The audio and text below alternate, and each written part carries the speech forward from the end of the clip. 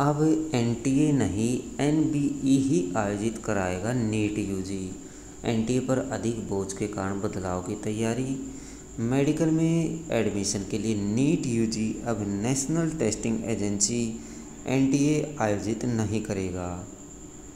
अगले सत्र से नीट यूजी का आयोजन National Board of Examination in Medical Sciences N B E M S द्वारा किए जाने की तैयारी की जा रही है।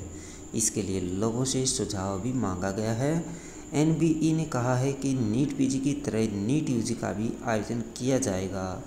अब तक नीट यूजी का आयोजन एनटीए कर रही है, जबकि नीट पीजी का आयोजन एन करता है। इस पर अंतिम फैसला केंद्र सरकार के शिक्षा और स्वास्थ्य विभाग को करना है। लोगों ने इस पर अपना सुझाव भी पॉजिटिव दे दिया है। स्टूडेंट्स भी चाहते हैं कि एन ही परीक्षा का आयोजन करे। एन के निदेशक साधना पारासर ने कहा कि हम लोग केवल परीक्षा लेते हैं, सिलेबस और परीक्षा का pattern National Medical Admission Commission के द्वारा जारी किया जाता है। एनटी के पास बोझ बढ़ गया है। देश भर में परीक्षा आयोजित कराने की सबसे बड़ी संस्था एनटीए बन गई है। देश भर की सबसे बड़ी प्रवेश परीक्षा का आयोजन एनटीए ही करा रही है। एनटीए के पास बोझ ज़्यादा हो गया है।